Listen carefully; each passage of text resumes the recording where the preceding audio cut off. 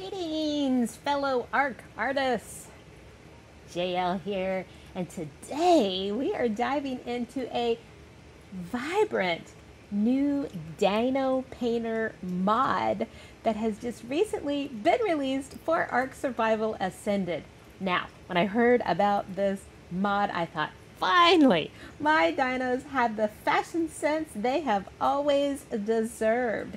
So now let's take a brush and splash some color into this review. First thing we have to do is we need to unlock it. It only takes one engram point and then one piece of thatch, which I thought was pretty amazing. And then all we have to do is craft it.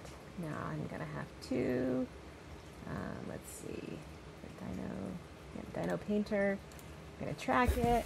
Just need to get one little piece of thatch. What can I hit? Let's hit something. Let's take our aggravations out on this tree, shall we? Thatch. Yep, there we go. Alright, so now we have it. We craft one.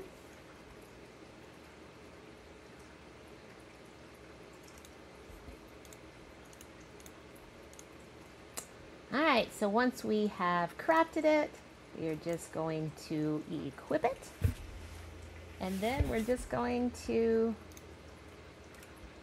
left click with it in our hand with our mouse and now we have all of these different options. This is pretty amazing. All right, so now here comes the really fun part. We get to pick colors for our dinos just like picking candy from the dino candy store. So this little guy, he is green. Nothing wrong with green, but you know me, I'm a purple girl. So we're going to select zero because that's going to be the primary color. And then scroll down until we get to, uh, let's check out this one. Ooh, okay. Oh my goodness. Actually kind of like that with the green. And we can click on one. And let's go um, Not for sure. Did that change? Maybe, maybe it's feet. Oh no, it looks like a little bit of tail featherage going on here. Okay. I actually, I like that all by itself. All right, so that's it. That is amazing. That is so cool, and it's. I love how easy it is to make the changes. It's like giving them a spa day, but with more color and less cucumber mask. And there you have it, my fellow Dino Da Vinci's. The Dino Painter mod is not just a mod, it is a statement.